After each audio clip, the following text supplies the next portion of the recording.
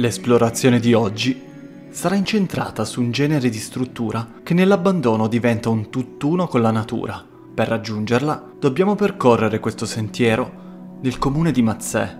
Ci troviamo in Piemonte, in un comune del Canavese famoso per il suo castello, ma parlerò della storia di questo comune in un video a parte nel secondo canale. Quest'oggi invece visiteremo una vecchia serra abbandonata che una volta apparteneva ad una delle ville più belle di Mazzè.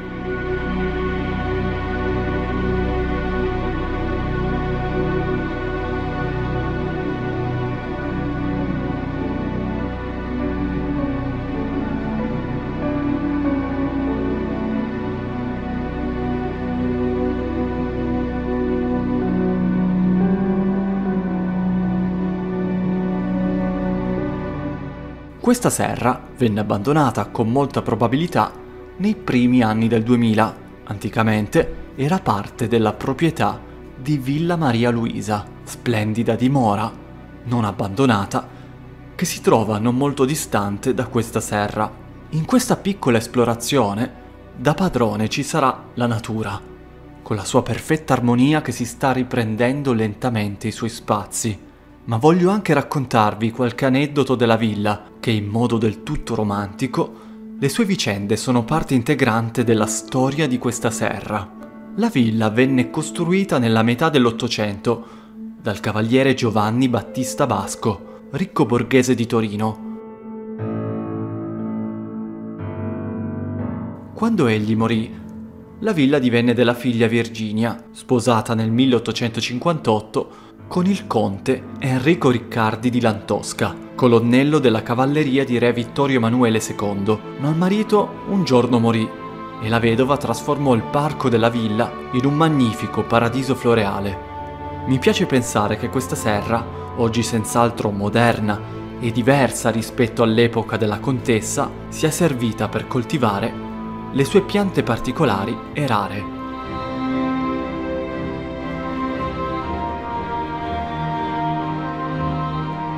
Un luogo magico e nascosto, impenetrabile nei mesi estivi, dove venivano coltivati innumerevoli fiori e piante da destinare al parco della villa.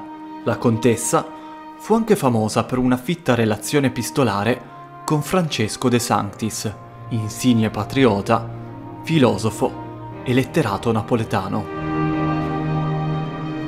Virginia Basco di Mazzè fu sua allieva prediletta ma per i loro tempi vissero quello che si può considerare un amore impossibile. Sono arrivate a noi lettere bellissime, alcune delle quali scritte dalla stessa Virginia all'interno di questa serra, dove si dice che amasse spesso ritirarsi.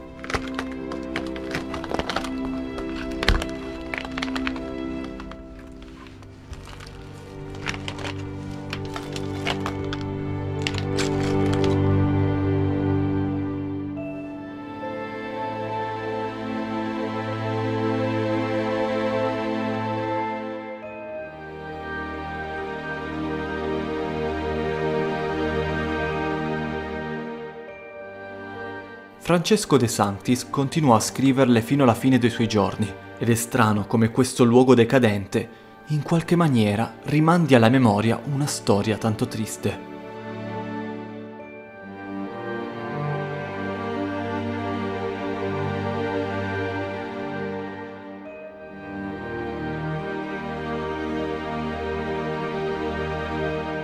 La corrispondenza intercorsa tra Francesco e la contessa Fu poi successivamente ricercata da Benedetto Croce nel 1914, che la raccolse in una pubblicazione intitolata Lettere a Virginia.